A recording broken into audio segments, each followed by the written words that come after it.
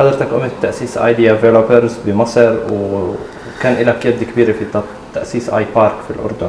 آه، إيش برأيك الميزات اللي بتضيفها حاضنه الأعمال على أي startup وإمتى لازم على الأعمال الناشئة أو الشركات الناشئة تخرج من حاضنات الأعمال؟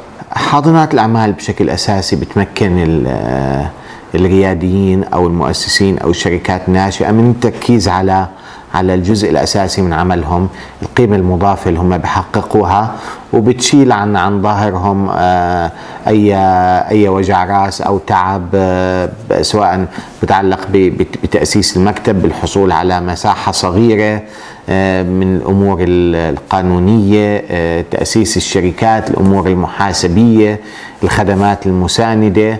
إلى إلى آخره.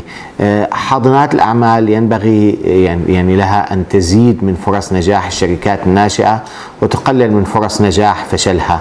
وباعتقادي إنه دور أساسي لحاضنات الأعمال هي تكوين يعني مجتمعات ريادية مصغرة بحيث إنه حتى مع يعني مع وجود النقص في في الخدمات الاستراتيجية أو الخدمات المساندة في حاضنات الأعمال مجرد وجود عدد من الشركات في مكان واحد بمكن هاي الشركات من إنها تدعم بعضها البعض وإنها تستغل أي خدمة أو أو resource أو موارد موجودة لوحده من الشركات لمساعدة لمساعدة الشركات الأخرى.